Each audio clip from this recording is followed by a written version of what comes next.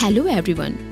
On behalf of Indian Institute of Food Processing Technology under Ministry of Food Processing Industries, I welcome you all for video demonstration session of sorghum flour processing under capacity building component of PMFME scheme.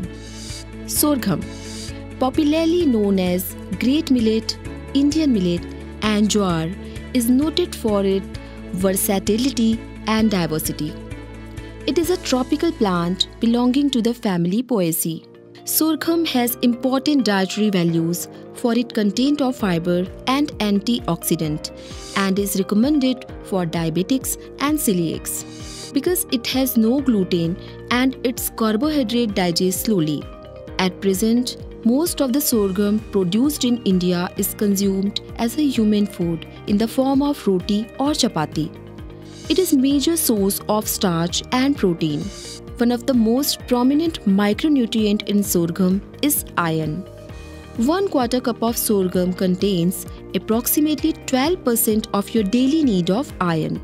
Other micronutrients found in sorghum include potassium, thiamine, vitamin B6, phosphorus, manganese and magnesium.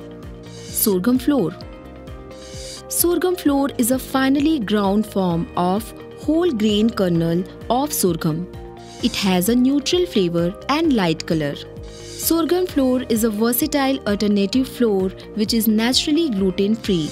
Its mild flavor works well in many sweets and savory recipes in everything from flaky pastry to vanilla cake. Machinery used in sorghum flour processing. Sorghum cleaning machine pulverizing machine, sieving machine, and packaging machine. Flour can be of two types as per of market targeted whole grain flour and refined sorghum flour. Whole grain flour. Whole grain flour is obtained by complete grinding. When the grain is ground without separating part of it, the flour is called complete and has a nutritional value close to the grain. Following steps involved in processing. Cleaning. Incoming sorghum is screened from coarse and fine impurities. Stones, metal pieces, glass, mud particles and other high density impurities as well as other low density impurities are separated from sorghum. Different sorghum cleaning machines are available in market of different capacity for cleaning sorghum, pulverizing or grinding. The next steps involved is grinding into dry powder form for converting it into a flour for human consumption. Different pulverizer machines of varying capacity is available in market to perform this. The grains are fed through the feed hopper and get crushed and pulverized between serrated disc by shear and attrition action. The particle size of the product could be tailored by adjusting the gap between the discs. Packaging Warm flour must not be enclosed in sealed containers or plastic bags because the water will condense and concentrate in cooler spots. Paper bags will absorb part of condensed vapor. The flour should have moisture content below 15%. Storage It should be kept in cool and dry places, protected from insect, rodents, and other forms of contamination. Good quality dry sorghum flour can last for 4 months at ambient temperature without changing taste or smell. Second type of flour is refined sorghum flour. Whole grain flour is dark in color and not suitable for bakery purpose. Bread is usually made from refined flour from which pericarp fraction have been separated during the milling process. The difference between complete flour grinding and refined grinding is tempering and sieving is done while making refined sorghum flour. Moistening or tempering.